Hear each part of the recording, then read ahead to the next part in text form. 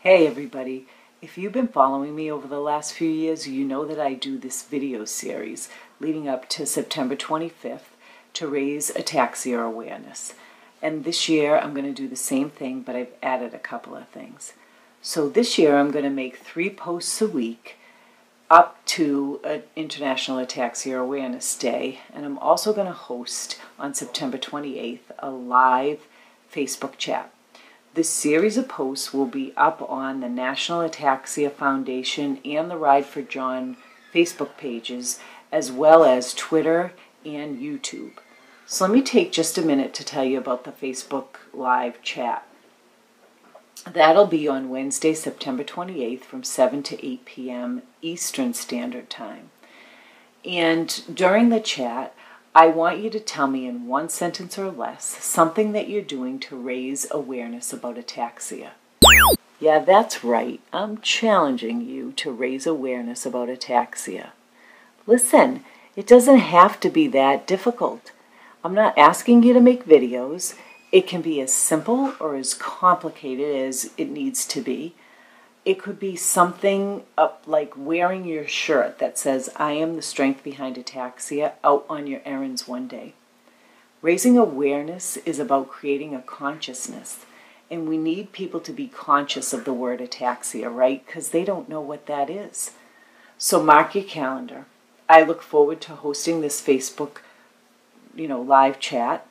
And even if you weren't able to do something to raise awareness, I still want you to jump on the chat. You're going to hear from other people and you might become inspired or get an idea of something you'd like to try next time. And next time doesn't have to be next September 25th. It can be anytime, right? You can raise ataxia awareness anytime. So I would challenge you to think about that. Now let me get back to my three posts a week. I'm going to make three posts a week on Monday, Wednesday, and Friday mornings and they'll be about the little things and not so little things that no one ever talks about when you are living with ataxia.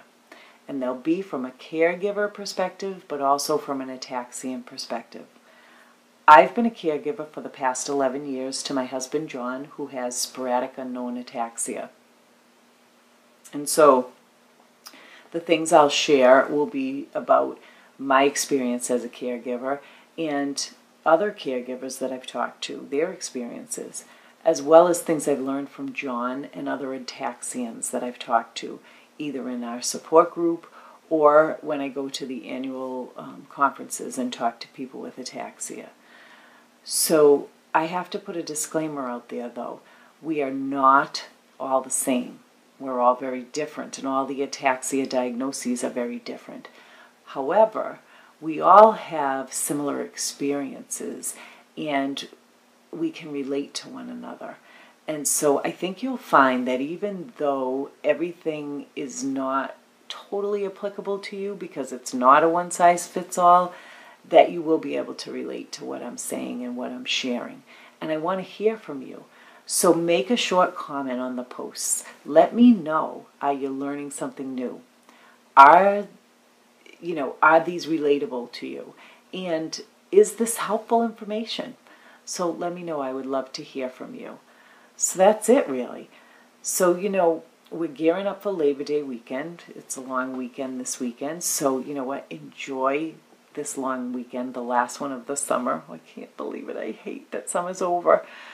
But, you know, enjoy your weekend, and I'll see you on Monday with the first post. And, um, oh, yeah, before I forget, like us. Like us. All right, you guys, I'll see you on Monday. Have a great weekend.